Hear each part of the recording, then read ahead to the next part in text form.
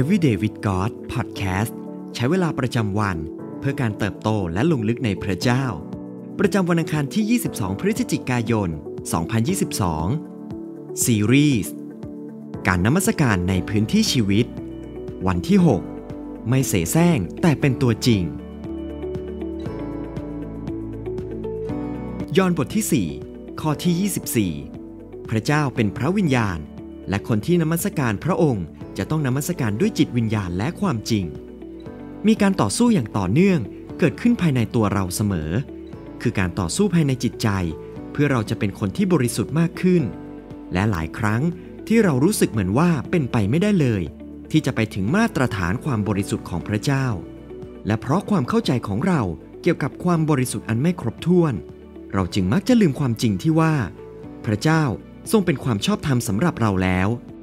มาร์ตินลูเทอร์ นักบวช ผู้ปฏิรูปศาสนาคริสต์ในยุคปี 1500 เอง ก็ได้พูดถึงเรื่องความชอบธรรมในฝ่ายวิญญาณ ด้วยว่าเราทำอะไรไม่ได้มากกว่านี้ เพื่อจะรับความชอบธรรมนั้น เพราะความชอบธรรมเป็นของประทานจากองค์พระผู้เป็นเจ้า ดังนั้นหากเรานมัสการพระองค์ด้วยจิตวิญญาณและความจริง เราต้องยอมรับความจริงของพระองค์ และของประธานแห่งความชอบธรรมของพระองค์ และขณะที่เราตรึกต้องถึงความจริงอันงดงามนี้ พระเจ้าก็ทรงนำเรานมัสการพระองค์ อีกสิ่งหนึ่งที่มีแนวโน้มจะเกิดขึ้นคือ การที่เรารู้สึกว่า เราดีไม่พอ แต่เรากลับแซงว่า เราพร้อมและดีพอแล้ว หรือเราอาจพยายามแสวงหาการยอมรับจากพระเจ้า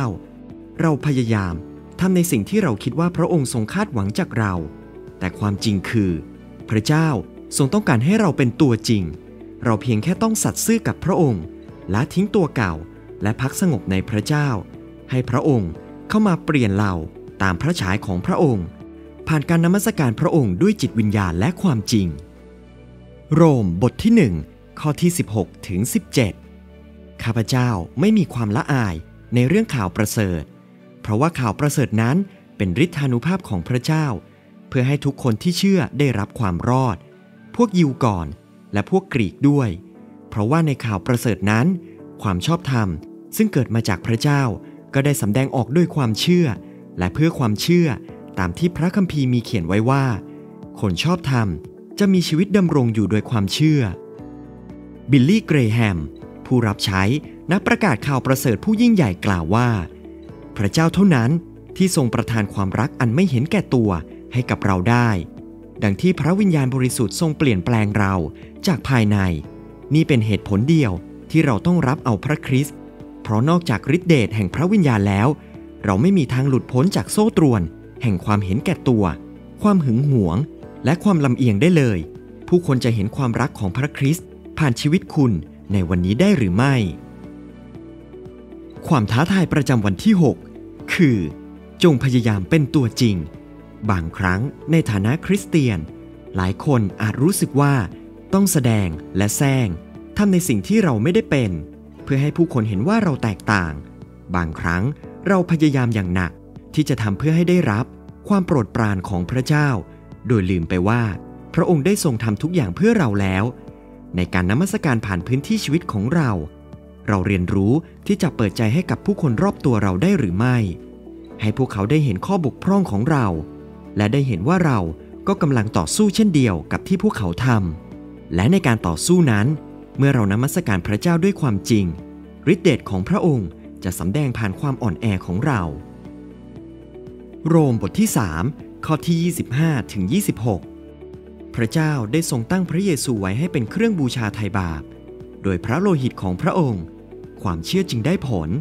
ทั้งนี้เพื่อแสดงให้เห็นความชอบธรรมของพระเจ้า ในการที่พระองค์ได้ทรงอดกลั้นพระทยัยและทรงยกบาปที่ได้ทำไปแล้วนั้น และเพื่อจะสำแดงในปัจจุบันนี้ว่า พระองค์ทรงเป็นผู้ชอบธรรม และทรงให้ผู้ที่เชื่อในพระเยซูเป็นผู้ชอบธรรมด้วย สิ่งที่ต้องใคร่ครวญในวันนี้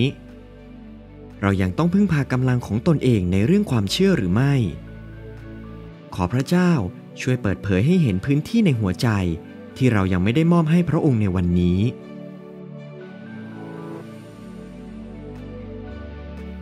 ให้เราอธิษฐานด้วยกันครับ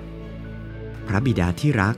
เราสรรเสริญพระองค์ ผู้ทรงรู้จักเราอย่างที่เราเป็น เราขอบคุณพระองค์ ผู้ทรงยอมสละพระชน เพื่อเราแม้เรายังบาปอยู่ ขอทรงช่วยให้เราเข้ามาหาพระองค์ด้วยตัวตนที่แท้จริงของเรา อย่าให้มีกำแพงใด หรือความคิดใดขวางกั้นเราจากพระองค์ เพื่อเราจะรับการเปลี่ยนแปลงและชำระให้สะอาด เราขอถวายพระสิริทั้งปวง ด่พระองค์เพียงผู้เดียว อธิษฐานในพระนามพระเยซูคริสต์เจ้า เอเมน